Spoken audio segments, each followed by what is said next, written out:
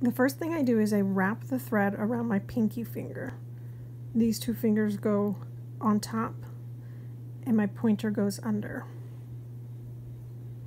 To work a TRTR, wrap four times. And this isn't necessarily the stitch I'm using on this pattern, but I'm going to work it here to show you. So I'm just going to choose a stitch to work it around.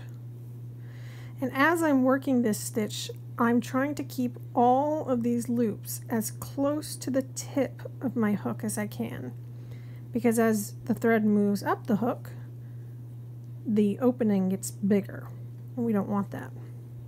So I'll push it down with my finger and begin working. So every time I pull through, I do want to push it up a little bit just to get it right there. That's generally where I want to keep it.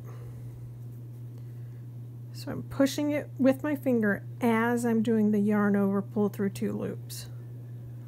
Now I'm not successful every time. I can see this getting looser and looser as I'm doing it. That's okay. If I'm really unhappy with it, I will work it again. Oops.